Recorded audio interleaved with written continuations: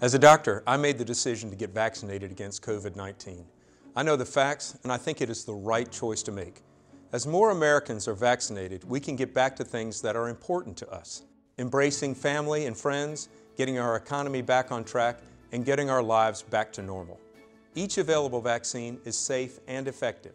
Each vaccine was tested on tens of thousands of people. We continue to monitor vaccines every day to ensure that they are safe.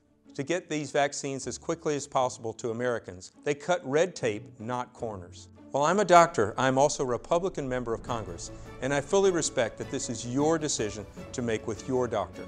Talk to your doctor, get all the information you need, and decide which vaccine is best for you. The one thing we can all agree upon, America needs to get back to being America again.